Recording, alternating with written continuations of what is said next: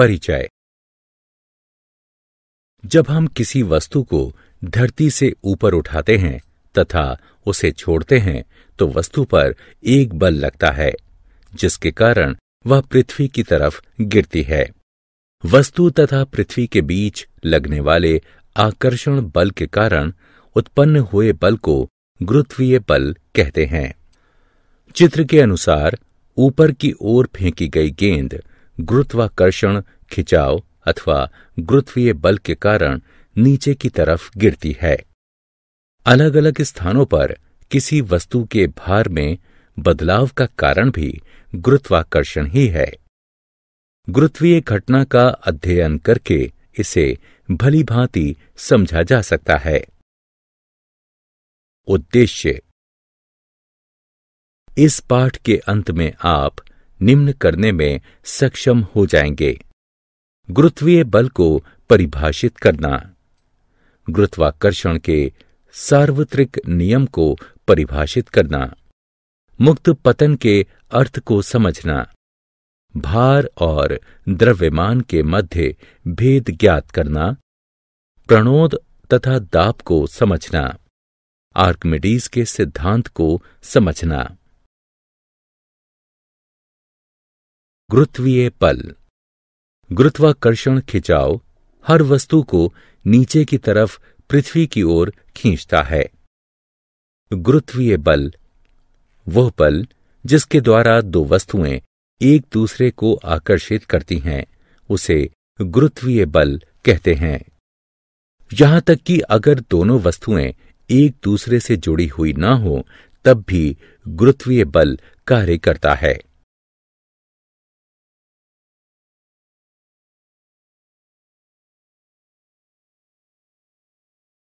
अभिकेंद्र बल। पृथ्वी के केंद्र की तरफ़ लगने वाला वह बल, जिसके कारण कोई वस्तु वृत्तीय पथ पर घूमती है, अभिकेंद्र बल कहलाता है। सूर्य तथा पृथ्वी के बीच लगने वाला गुरुत्वीय बल, पृथ्वी को सूर्य के चारों तरफ़ एक समान वृत्तीय गति में रखता है। यह एक अभिकेंद्र बल है, जो सूर्य तथा पृथ्वी के बीच में कार्य करता है।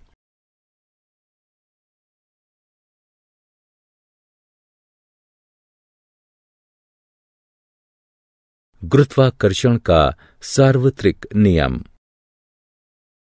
विश्व का प्रत्येक पिंड, प्रत्येक अन्य पिंड को एक बल से आकर्षित करता है, जो दोनों पिंडों के द्रव्यमानों के गुणनफल के समानुपाती तथा उनके बीच की दूरी के वर्ग के व्युत व्युतक्रमानुपाती होता है। बल दोनों पिंडों के द्रव्यमानों के गुणनफल के समानुपाती होता है। बल दोनों पिंडों के बीच की दूरी के वर्ग के व्युतक्रमानुपाती होता है।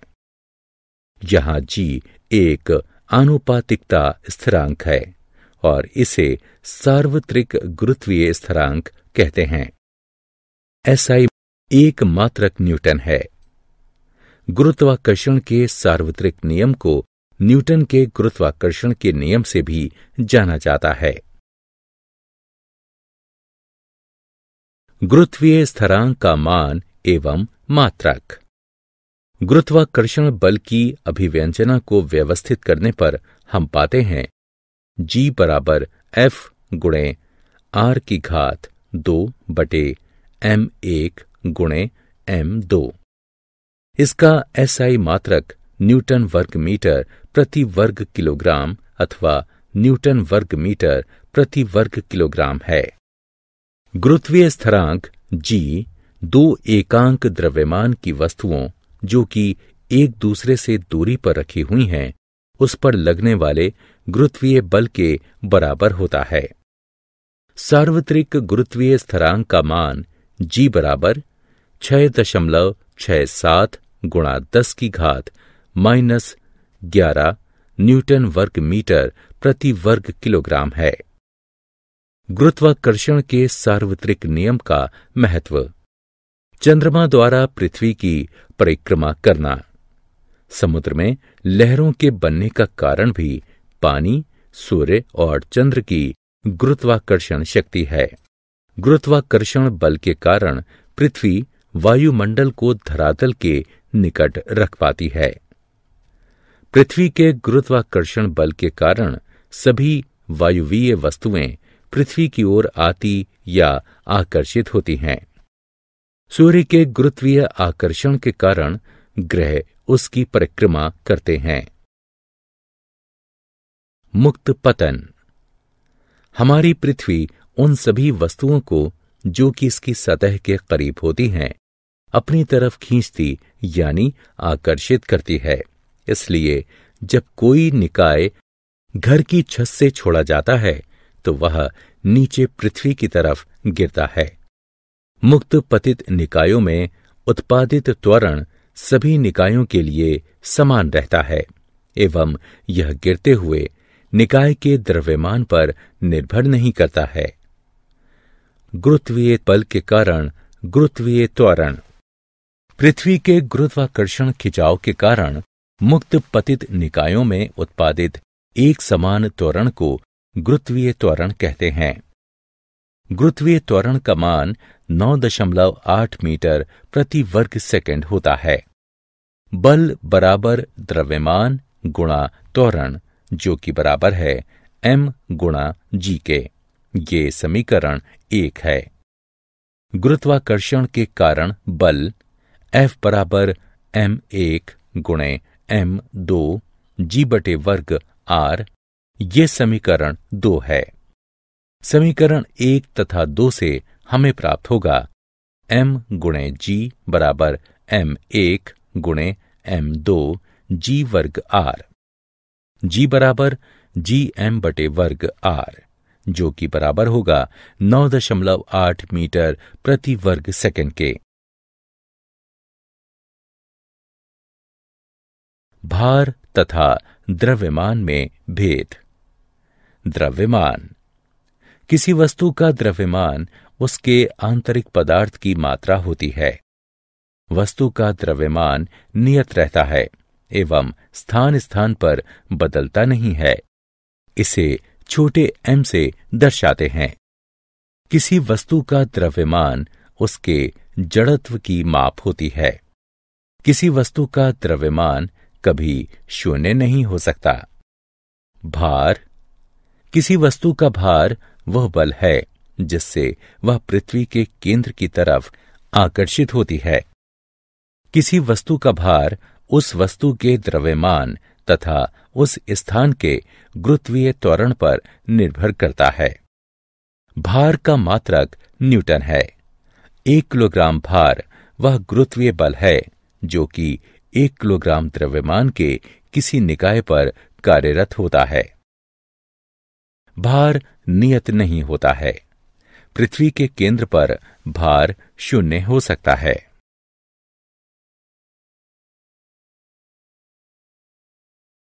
मुक्त पतन के गति के समीकरण। मुक्त पतन के गति के समीकरण तीन प्रकार हैं। V बराबर u जमा जी टी एस बराबर यू टी जमा एक बटे दो जी टी वर्ग v वर्ग बराबर u वर्ग जमा दो जी एस गुरुत्वाकर्षण के कारण मुक्त पतित निकाय का उत्पन्न त्वरण जमा नौ दशमलव आठ मीटर प्रति वर्ग सेकंड होता है। गुरुत्वाकर्षण के कारण ऊपर की ओर फेंका गया निकाय का त्वरण नौ दशमलव आठ मीटर प्रति वर्ग सेकेंड होता है। किसी निकाय का चंद्रमा पर भार एक बटे छह गुणा होता है। प्रणोद तथा दाब प्रणोद। किसी वस्तु पर लंबवत लगने वाले बल को प्रणोद कहते हैं। प्रणोद बराबर दाब गुणा क्षेत्रफल। प्रणोद का एस आई मात्रक न्यूटन है। दाब किसी वस्तु के एकांक क्षेत्रफल पर लंबवत लगने वाले बल को दाब कहते हैं। अगर क्षेत्रफल अधिक है तो बल कम दाब उत्पन्न करता है। और अगर क्षेत्रफल कम है तो अधिक दाब उत्पन्न करता है। दाब बराबर बल बटे क्षेत्रफल। दाब का एसआई मात्रक न्यूटन प्रति वर्ग मीटर है।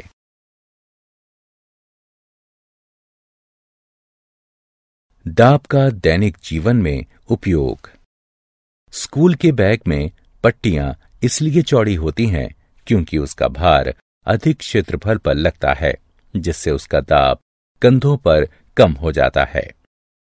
सुई की नोक काफ़ी पतली होती है, ताकि वह बल कपड़े के बहुत कम क्षेत्रफल पर लगे एवं कपड़े सिलने के दौरान छेदने के लिए आवश्यक दाब पैदा करे। जब कोई व्यक्ति चलता है, तब ज़मीन पर पड़ने वाला दाब उसके खड़े होने से पहले दाब से अधिक होता है। क्योंकि जब वो चल रहा होता है, तब उसका भार कम क्षेत्रफल पर पड़ता है, एवं इससे दाब बढ़ता है। तथा जब वो खड़ा होता है, तब क्षेत्रफल अधिक होता है, एवं वो कम दाब पैदा करता है। उत्प्लावकता। किसी द्रव में वस्तु पर ऊपर की तरफ़ लगने वाले बल को उत्प्लावन बल कहते हैं। किसी द्रव के द्वारा ऊपर की तरफ़ लगाए गए बल को भी उत्क्षेप या उत्प्लावन बल कहते हैं। किसी द्रव के द्वारा किसी वस्तु पर ऊपर की तरफ़ बल लगाने की प्रवृत्ति को उत्प्लावकता कहते हैं। उत्प्लावन बल को प्रभावित करने वाले कारक। यह द्रव में डूबने वाले ठोस वस्तु के परिमाण पर निर्भर करता है। जिस द्रव में वस्तु को डुबोया गया है। यह उस द्रव के घनत्व पर निर्भर करता है। आर्कमिडीज का सिद्धांत। जब कोई वस्तु किसी द्रव में आंशिक या पूर्णता डुबोई जाती है तो उस पर एक उत्प्लावन बल कार्य करता है, जो कि उस वस्तु के द्वारा विस्थापित द्रव के भार के बराबर होता है। इसका उपयोग जलयानों तथा पनडुब्बी के डिज़ाइन दुग्धमापी एवं घनत्व मापी बनाने में होता है। उत्प्लावन बल बराबर वस्तु के द्वारा विस्थापित द्रव का भार। उत्प्लावन बल का परिमाण डुबोई गई वस्तु द्वारा विस्थापित द्रव के भार के बराबर होता है। आपेक्षिक घनत्व। यह किसी पदार्थ एवं पानी के घनत्व का अनुपात होता है। इसका कोई मात्रक नहीं होता है। आपेक्षिक घनत्व बराबर पदार्थ का घनत्व बटे पानी का घनत्व। क्या आप जानते हैं? न्यूटन के गुरुत्वाकर्षण के नियम हमें पृथ्वी का सही द्रव्यमान पता करने में सहायक है। न्यूटन के गुरुत्वाकर्षण के नियम हमें सूर्य, चंद्रमा एवं अन्य ग्रहों का द्रव्यमान पता करने में सहायक हैं। गुरुत्वाकर्षण प्रकृति के चार मूलभूत प्रभावों में से एक है। प्रत्येक ग्रह पृथ्वी को मिलाकर अपने गुरुत्वीय क्षेत्र से घिरा रहता है, जो कि सभी वस्तुओं पर आकर्षण बल लगाता है। सारांश। आइए, हमने जो कुछ सीखा है, उसे संक्षेप में दोहराएँ। किन्हीं दो पिंडों के बीच आकर्षण बल उन दोनों के द्रव्यमानों के गुणनफल के समानुपाती एवं उनके बीच की दूरी के वर्ग के व्युतक्रमानुपाती होता है। गुरुत्वाकर्षण एक क्षीण यानी कमज़ोर पल है, जब तक कि बहुत द्रव्यमान वाले पिंड संबद्ध ना हो। पृथ्वी तल से ऊंचाई पर जाने पर गुरुत्वीय बल कम होता जाता है। किसी वस्तु का भार द्रव्यमान एवं गुरुत्वीय त्वरण के गुणनफल के बराबर होता है। किसी वस्तु का भार अलग अलग स्थानों पर भिन्न होता है। किसी निकाय का चंद्रमा पर भार उसके पृथ्वी पर भार से एक बटे छह गुणा होता है। जब कोई वस्तु किसी तरल में डुबोई जाती है तो वह उत्प्लावन बल महसूस करती है।